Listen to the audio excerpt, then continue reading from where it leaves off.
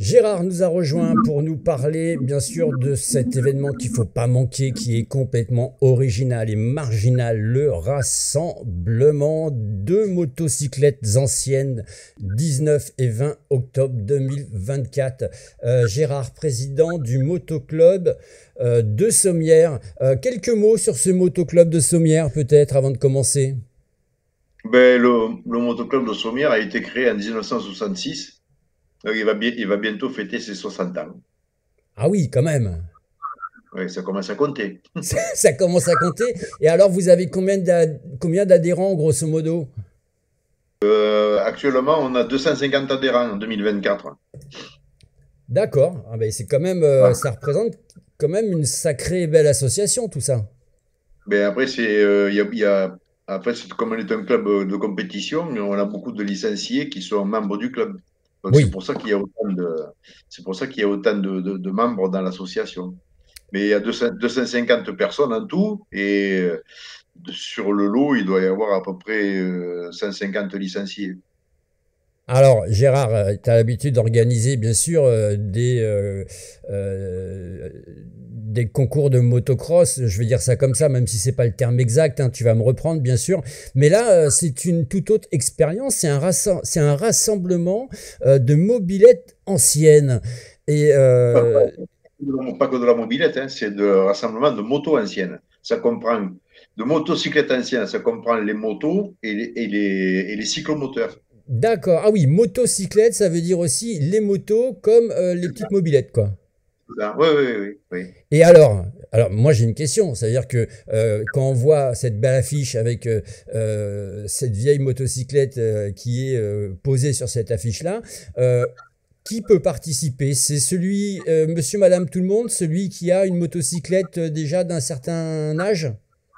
Ah ben, il, faut, il faut avoir un certain, un certain âge pour pouvoir participer au rassemblement. Et généralement, il faut compter plus de 20 ans d'âge pour, pour pouvoir participer. C'est-à-dire euh, que les motos qui sont d'avant 1968, euh, on ne les prend pas, puisque oui, il faut conserver l'aspect historique du rassemblement. Mais euh, ce n'est pas le premier rassemblement qu'on organise. Hein.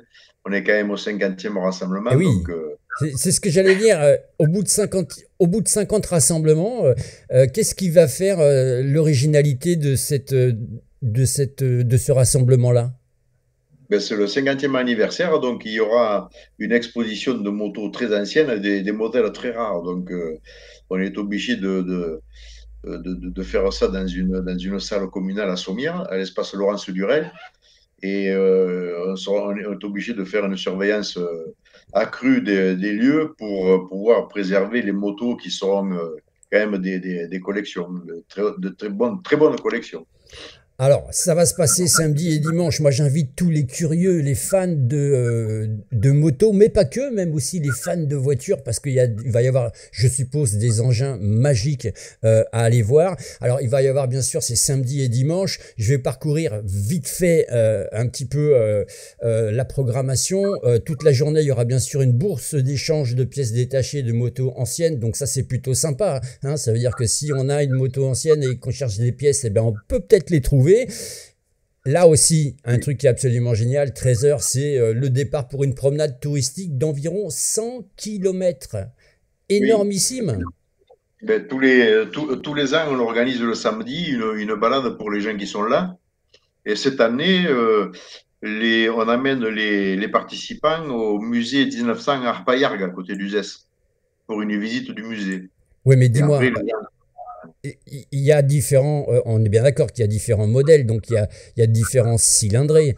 Euh, celui qui a une petite cylindrée comme les petites mobilettes euh, qui datent, qui ont 30 ans ou 40 ans, comment il fait pour faire les 100 km il les, fait. Hein, celui qui ne se, sent pas de, se sent pas de participer avec sa mobilette, il ne le fait pas, mais je vous garantis que les, les, les, ceux qui ont des, des cyclomoteurs, ils, ils, font les 100 km, il n'y a pas de problème. Et alors Après, devant, il y a, il y a de l'assistance devant, il y a de l'assistance au carrefour, et derrière, il y a un véhicule balai avec des remorques qui récupèrent les, motos qui sont en panne. Faut... Ah, c'est absolument génial, c'est le Tour de France, quoi. Un peu, un peu. C'est pas la voiture balai, mais c'est la voiture, euh, c'est la, voiture remorque, en fait, pour, euh, Et voiture de dépannage. Alors, j'ai pas eu la chance de pouvoir le vivre une fois, euh, c'est cet événement, mais il doit y avoir une sacrée ambiance quand même. Ben, c'est plutôt une ambiance de, de, collectionneur qui a. Hein. Euh. Après, les gens. Euh, celui, qui a une, celui qui a une moto ancienne, c'est quand même quelqu'un qui a un certain âge. Donc, la moto ancienne, il a eu par héritage, où il en a acheté, où il est. C'est un féru de moto ancienne, mais généralement, on s'aperçoit que dans le milieu de la moto ancienne, dans ces rassemblements-là, ce sont des gens d'un certain âge.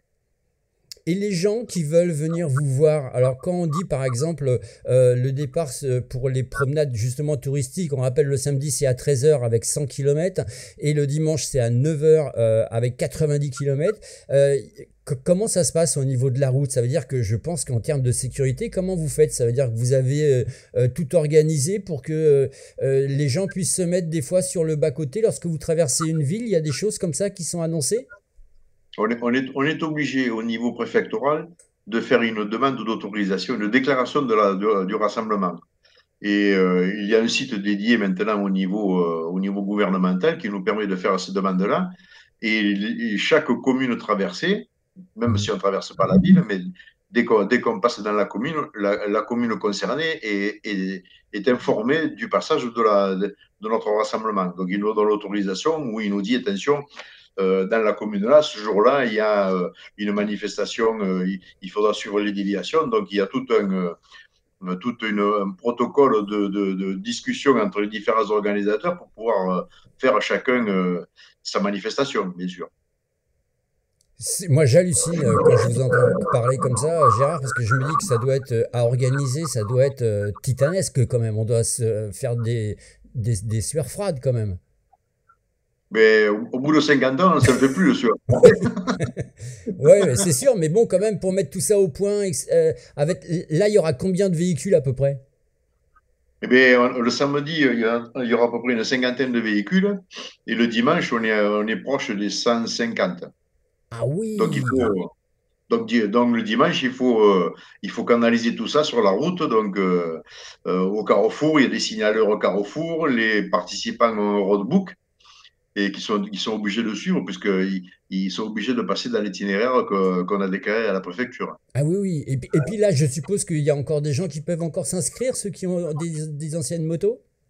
Ben, Là, c'est peut-être un peu tard maintenant, parce que là, on affiche complet. Quoi. Euh, quasiment complet. Il reste encore quelques places, mais après, on est limité par le, le, dimanche, le dimanche midi. Il y a un, repas qui est pris euh, à l'espace Laurence Durel.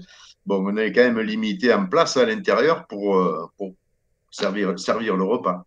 Alors moi, ce qui Aujourd'hui, on est à 180 personnes pour le dimanche à midi. Bon, alors ce qu'on peut dire aux gens, c'est que ça va être quand même vraiment très, très, très spectaculaire euh, parce que euh, on l'a entendu entre euh, peut-être alors 50 le samedi, voire un petit peu plus véhicules et plus de 100, 150 le dimanche, donc ça va être énormissime.